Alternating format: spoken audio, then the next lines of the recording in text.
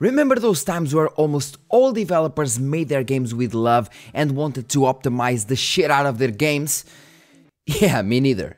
Crysis was a super optimized game compared to some shit we get nowadays. But let me just start this video by telling you that developers are finally fixing their shit with FSR 3 frame generation. Yeah, they finally fixed it. And in case you're new to the channel, I made some videos before about how they were actually ruining FSR 3 frame generation and how the bad implementations were really bad and the mods were actually better than the official implementations. And I'm talking about uh, The Last of Us, Robocop, for example, the Thaumaturge, um, and there are many others like Warzone in some scenarios, Avatar that started well and then went to bollocks. But gladly, in these recent days, in these couple of days, they actually fixed it.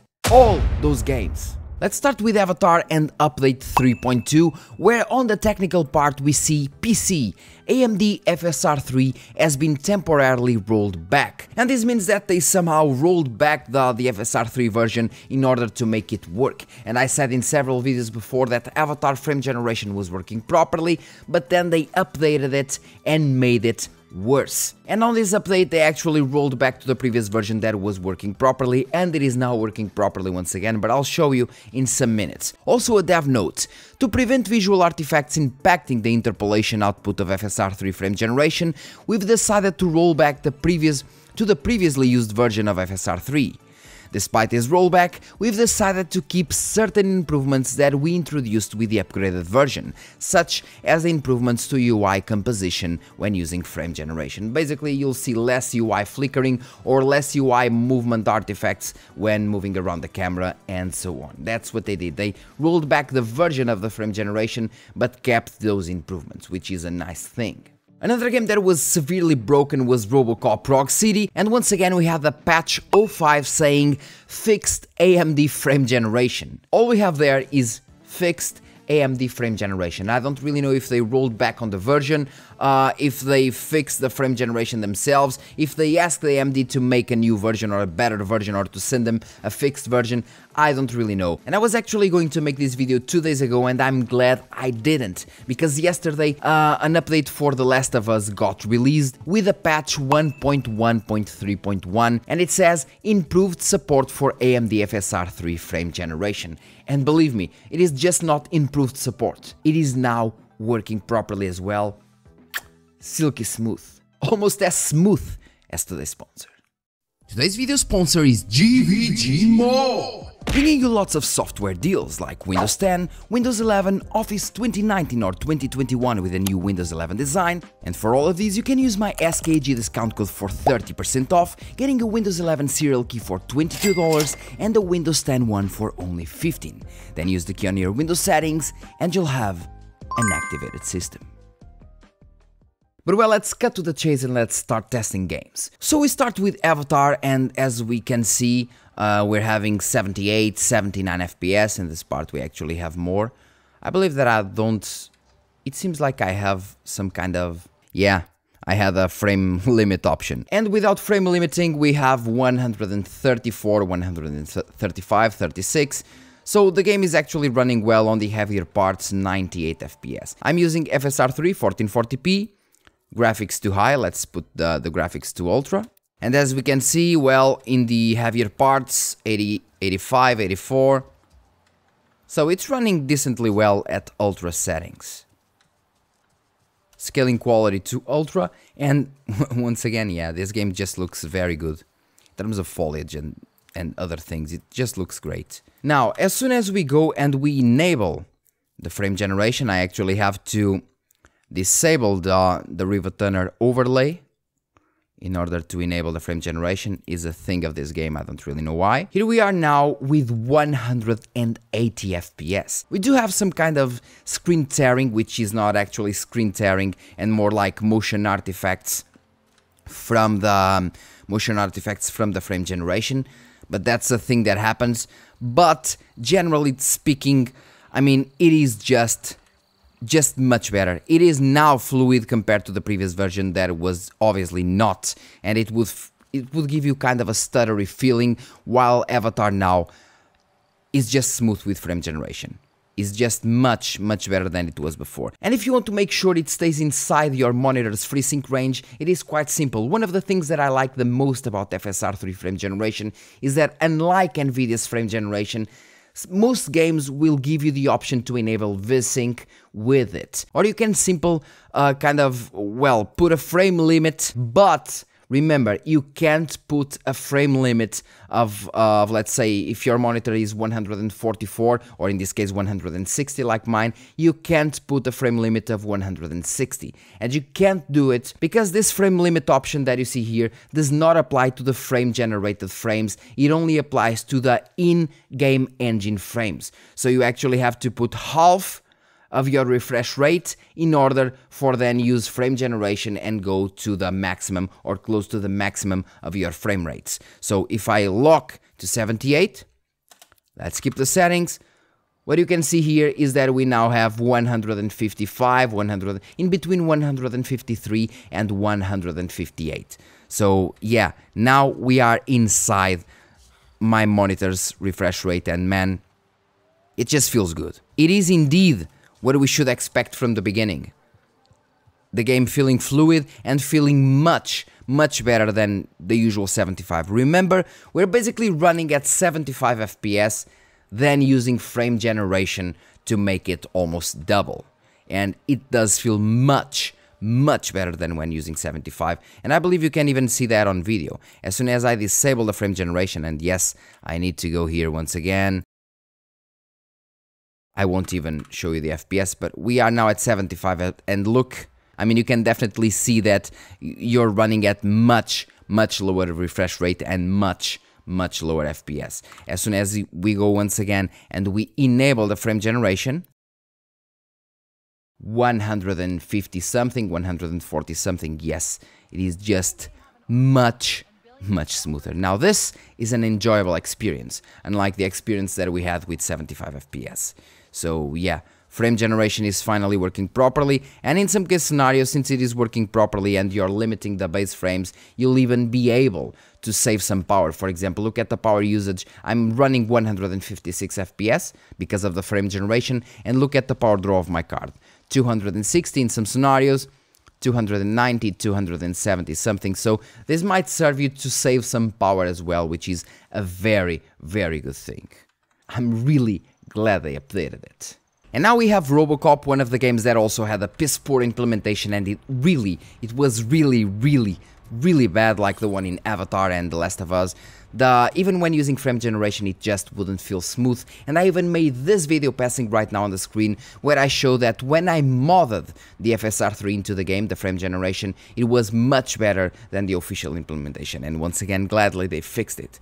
So we're running once again 1440p TSR. One thing that I don't like about this update uh, is that TSR somehow TSR, sorry, Portuguese was taking over. TSR somehow does not allow you to uh, to use a quality mode or something like that. At least on my end, maybe I need to verify the files, but it is a bug somehow. Before you had the option to use TSR quality, or you could even choose the resolution scale yourself, something that TSR does not allow now. But instead of using the resolution scale as soon as you enable FSR3, you now have the quality mode and so on, you can choose them. And as for the settings, I'm running the maximum settings with the usual motion blur and chromatic ab aberration disabled. Uh, when I use the quality mode with FSR, the quality itself doesn't look that great, I must tell you, in terms of upscaling, in terms of upscaling once again, because, well, we're using FSR 2.2, which is basically the upscaler of FSR 3, so the upscaling quality is not that great, but in terms of FPS, we're already running 120 which sincerely we didn't need more than that, but if you're running 4K, for example, frame generation might help. Now, as soon as we enable the frame generation, obviously we go to 200 FPS, but look at this. Yeah, it is now smooth. Even if you look at the frame timeline, you can see that the frame timeline, the frame timeline is just smooth, really, really smooth, silky smooth, unlike before where the frame timeline was completely broken, something that gladly was fixed with this update. And like I told you before, one of the things that I like about FSR is that most games allow you to use VSync with FSR at the same time. I don't I believe that this game allows yes, allows it. VSync, the frame timeline might appear different and it is definitely not as smooth as it should be. Not, for example, like Starfield, but it is it is decently smooth, but it also has a lot more input latency when using VSync and it isn't as smooth as it should be like I told you before. So what you can do in this game is like we did on Avatar. All you have to do is go off, then you go to the frame limiting option. Instead of unlimited, you go for example, yeah, we just, it, yeah. They should allow it something, well, they should allow you to choose the frames, but yet, let's use limit to 60 and let's disable the frame generation for you guys to see in terms of smoothness. So we're running 60 FPS and yeah, I, am just not used to 60 FPS anymore. It just feels like everything is stuttering or crashing. Yeah, 60 FPS. All times, all times I guess.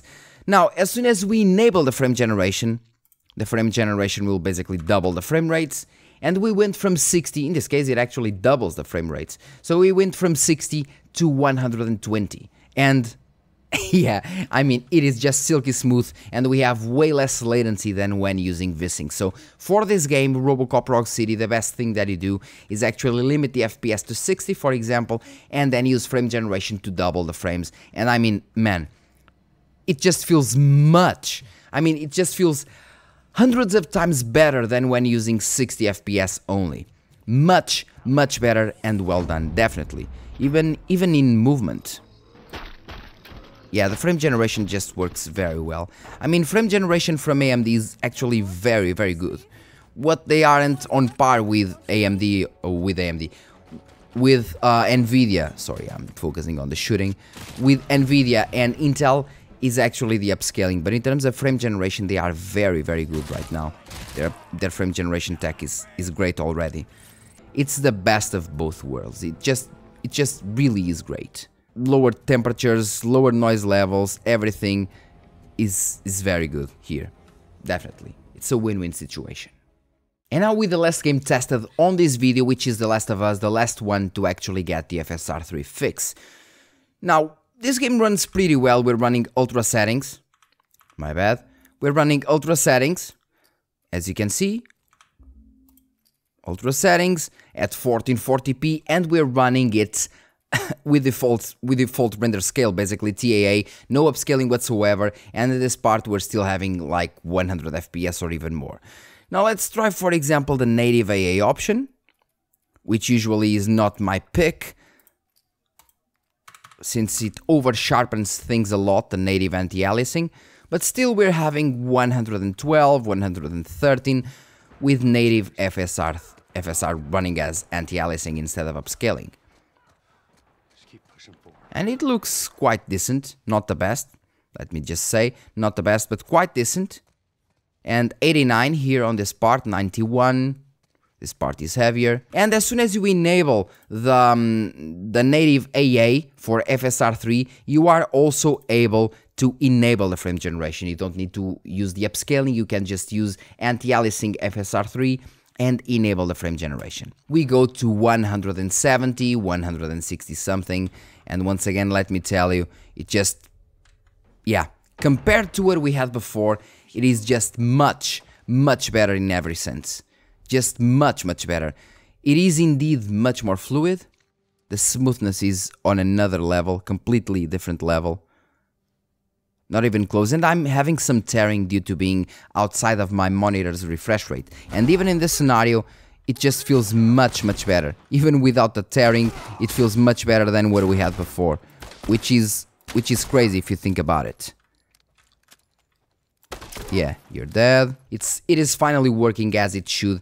And I mean, like the other games that we saw before, like Robocop, all you have to do, for example, here, instead, firstly, you can use the, the VSync, as I told you before, one thing that I like about FSR3. So use the VSync, and it will lock your frames to a maximum of 160. In this case, it isn't needed, as I'm not reaching those frame rates. Once again, getting the the rifle here. But in case you're using upscaling instead of the native AA, this will come handy. So let's now enable the upscaling, quality mode, and with frame generation, but with VSync enabled as well. We enable it, and as you can see, a maximum of 160. Although, it is it is smooth. I, I have to say it is smooth, definitely. This this much I, I can tell. It is working well like Starfield, but it does have some input latency. Uh, which for some people might not be the best case scenario. What you can do though is do the same thing as we did in Robocop and limit the base frame rates and then wait for the double. So we disable the VSync. Let's go for example to 70 let's go to 70 and with frame generation from 70 we go to 140 and now we still have very very fluid gameplay. Look at this. Just just silky smooth as it should be. Man why didn't they do this from the beginning? Why they uh, it's like they didn't test it. They were testing things blindfolded or something because the game was really, really bad in terms of frame generation and that is now silky smooth as it should be. And if you're not using VSync, the um, I mean, the input latency is really low if you're not using VSync. What you have to do is once again just limit the frame rates and then use frame generation. And now we're running 140 FPS, but instead of wasting, let's say, 280 watts of power or something, we're just running at 200 220, so much less power, lower temperatures, lower noise levels, all at the same time, which is insane. Finally, the implementation is actually good in this game. Finally. But we had to complain, otherwise they wouldn't fix it. Which is a bummer already. Bam, you're down. I have one shot. Yeah, and you're down.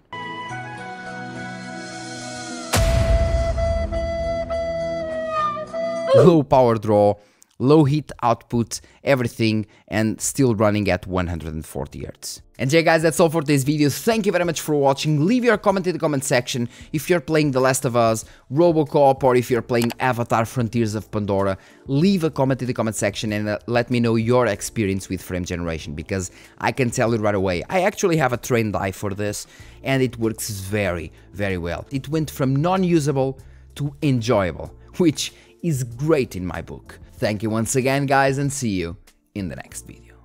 Cheers.